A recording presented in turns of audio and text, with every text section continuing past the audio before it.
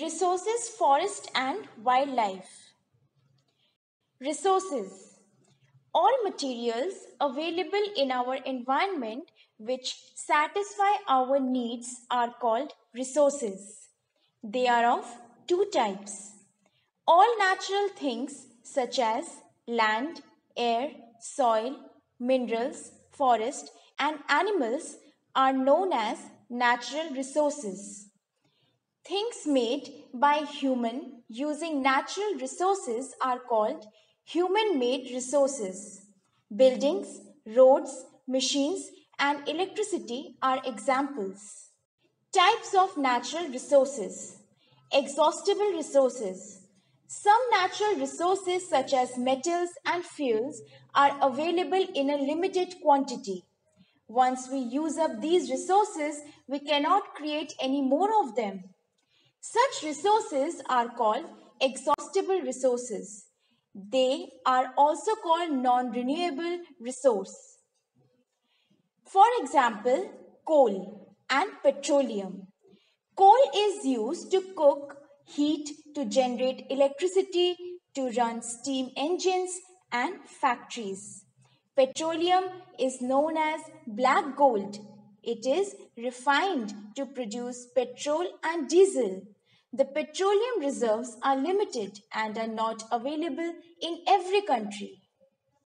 Inexhaustible resources. Natural resources which do not get exhausted are called inexhaustible resources. These are also called renewable sources. For example, solar energy, air, water, plants and animals. The energy of the sun is called solar energy. It is also used to light streets, cook, heat water and electricity. Air is an important natural resource. Wind is used to generate electricity. Water is needed for drinking, washing, cooking, growing crops, etc. Electricity generated from falling water is called hydroelectricity. Plants give us food to eat and oxygen to breathe. Trees prevent soil erosion and give shelter to many animals. This is why plants are called green gold. Soil is needed to grow plants. Fertile soil is good for crops. Conservation. We must plant trees and not hunt animals. We must not pollute air, water and soil. We must save electricity and develop other sources of energy. Forests. A large area of land that is thickly covered with trees and shrubs is called forest. Types of forests. The various types of forests present in India are evergreen forest, deciduous or monsoon forest, thorn and shrub forest, mountain forest, tidal or mangrove forest. Importance of forests. Trees and plants give us oxygen to breathe.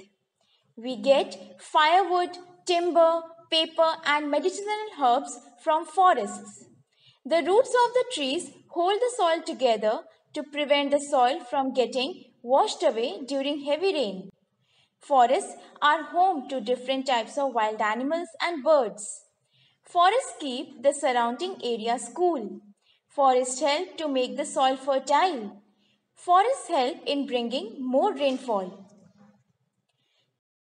Types of forest found in India. Evergreen forest. The main features are they do not shed their leaves at once. Here, when one group of trees shed their leaves, the other group grow new leaves. They are dense and tall. For example, rosewood, bamboo, ebony and mahogany. They are found in western slopes of the Western Ghats, hills of northeastern India and the Andaman and Nicobar Island. Deciduous or monsoon forest. Main features are the trees shed their leaves during the dry season. Some trees found here are mahua, sandalwood, sal and teak. Sandalwood is found in Karnataka. This type of forest is found in Bihar, Uttar Pradesh, Odisha and many states in the peninsular plateau. Thorn and scrub forest. Main features are the trees and shrubs here have long roots, thorns, thick stem and small leaves. The plants which grow here can survive without water for a long period. Places where thorn and scrub forest are found desert area of Rajasthan, dry areas of Gujarat, Madhya Pradesh, Tamil Nadu, Telangana, Andhra Pradesh, Uttar Pradesh and Haryana. Mountain forest. The main features are they are tall and some trees bear cones. Trees mostly have pointed or needle-like leaves. Pine, spruce and deodar are some trees which grow here. They are found in Himalayan region and parts of the hills.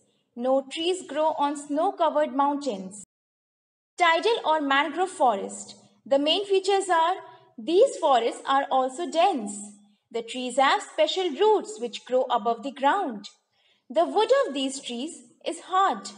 Sundari is an important tree which grows in West Bengal. They are found in the delta region of Ganga and Brahmaputra which is in West Bengal and Bangladesh some parts of Gujarat and the Andaman and Nicobar Islands. Need to save forests. Trees are being cut down in large number to fulfill our needs. As a result, forest resources are slowly reducing. This is called deforestation. Deforestation causes soil erosion, flood and landslide, especially during heavy rainfall. We must protect our forests because our survival depends on them.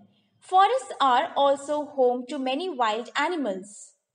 We must conserve our forests by planting more trees in deforested area.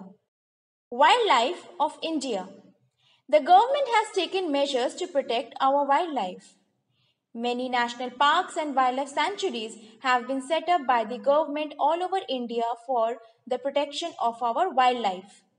A national park is a reserve forest area it is meant to protect the wildlife, trees and natural beauty of a region. A wildlife sanctuary is an area reserved for animals, especially those which are endangered. Tiger, one-horned rhinoceros, nilgai, lion-tailed mac Asiatic lion and snow leopard are some endangered animals. Let's recall. All materials which satisfy our needs are called resources. They are of two types natural resources and human-made resources. All natural resources are either exhaustible or inexhaustible. Resources which cannot be created once they are exhausted are called exhaustible resources. Metals, coal and petroleum are examples. Resources which do not get exhausted are called inexhaustible resources. Solar energy, air, water, plants and animals are examples. The various types of forests present in India are evergreen, deciduous or monsoon, thorn and scrub, mountain and tidal or mangrove forests. Many national parks and wildlife sanctuaries have been set up by the government all over India to protect forests and wild animals. Thank you.